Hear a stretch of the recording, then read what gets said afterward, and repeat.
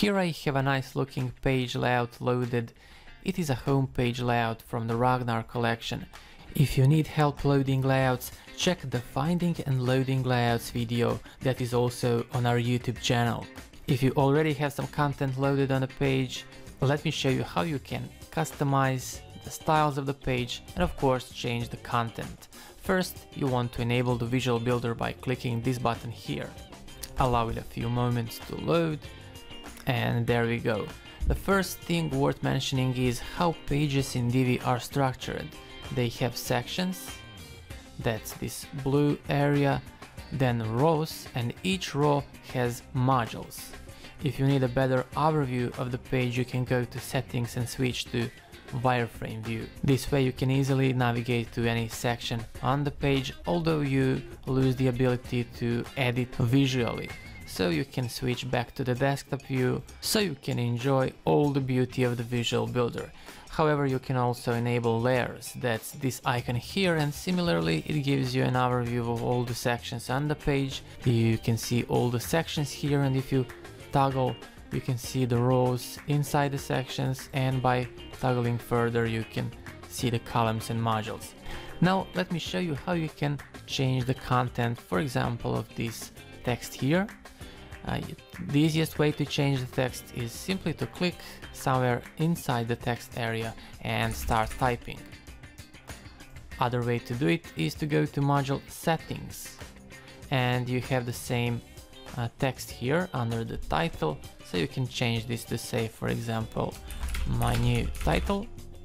There we go. And to change this text under the title uh, scroll to the body text here and change this and what about the image in the background this is the background of the entire section so you want to go to section settings and under the content tab toggle background here you have a color gradient image and video. This is obviously an image, so that's what you want selected and you want to change the image. Simply click on it, choose a different image from the library and click the upload button. Let me choose something else, for example this one, and there we go. What about if you would like to change the color of the text? Once again, you want to go to module settings, this time select the design tab and here you have title text and body text. Title text gives you all the options that relates to the title obviously, so you can change font family, you can change uh, font weight, it is currently set to italics, I can switch this off or on, you can also change the alignment of the text, of course the color and the font size. A cool thing in Divi is this thing here. This small mobile icon allows you to have different options based on the screen size. So for example, I can set a different text size for the desktop, tablet and mobile phone. That allows you to easily take care of the responsive style of the page. Sometimes we also have some custom CSS under the advanced tab. Make sure to check this as well if you need to change something, but most of the times you would just use the design tab. Another great thing in Divi is that you can easily duplicate not only the module but the style as well.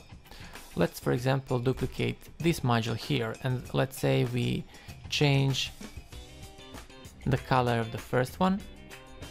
Let's put it white back again and now I can just right click on this and copy module styles and then I can just right click on this one and paste module styles and it automatically applies the styles of the top module to it. That's it for this video, thanks for watching.